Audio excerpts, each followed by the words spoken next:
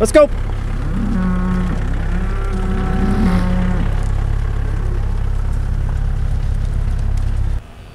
That went way better than I thought it would.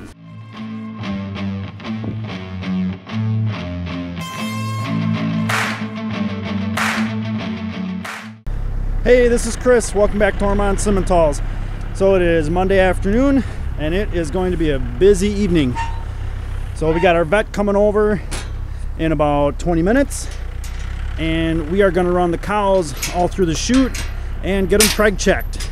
But first, I need to get everybody situated, which means putting the steers where we want them, get them locked up, put the calves where we want them. Dad's going to go grab a bale and we're going to do a similar trick for the cows a second time and hopefully but we're putting them in a little bit different pen and hopefully they go fingers crossed and hopefully the calves play nice with me.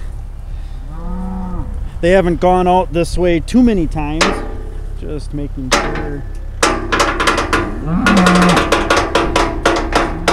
Somebody's got to oil that gate. Wow. All right. And of course we got some more rain last night so this bottom area just stays muddy. I'm glad we can get them a decent spot to lay in. And that's part of the reason why we didn't do any bedding last night because we knew the cows are just going to chew this all up. There we go. Got a few flowing.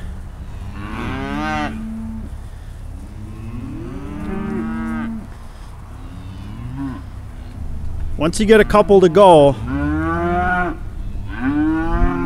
everybody else follows along.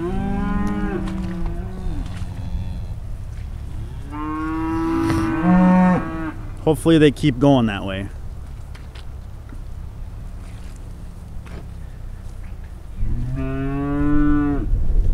Come on, bud. There we go. Come on, kiddos. Oop. Come on.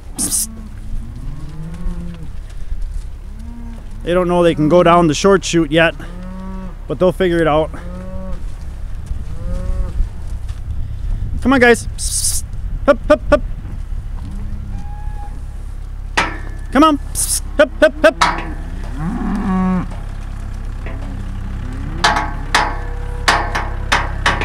Come on, kiddos. Hup, hup, hup. Let's go.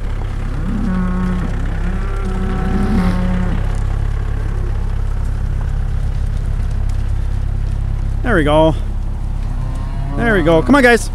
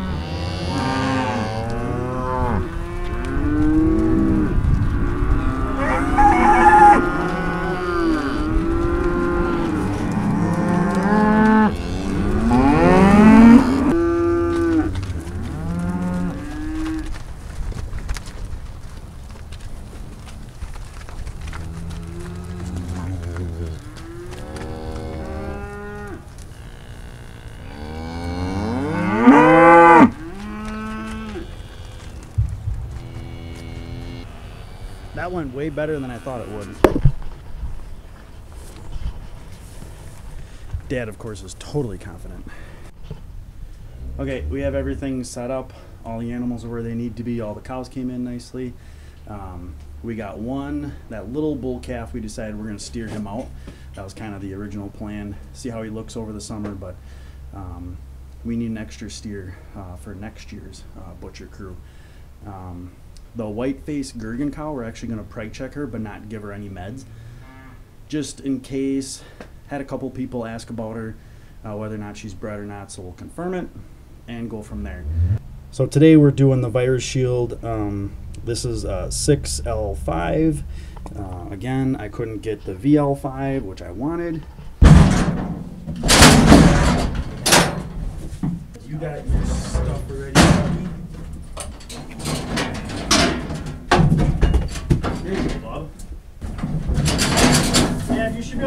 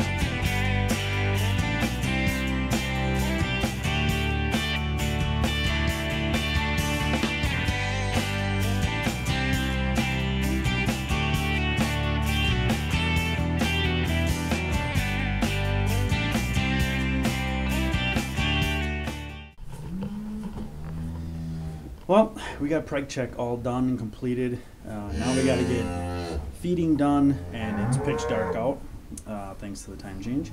Um, got everybody through. Didn't go the greatest. We ended up with um, four total open, which is not good for good odds for us. Um, good numbers for us, anyways. Uh, two of them are uh, first calf heifers, which they do tend to be the hardest to get rebred. And maybe with the way that uh, pasture was dwindling so much this year, they just weren't able to stay in good enough condition to get to come back and get bred again. So that's pretty darn disappointing.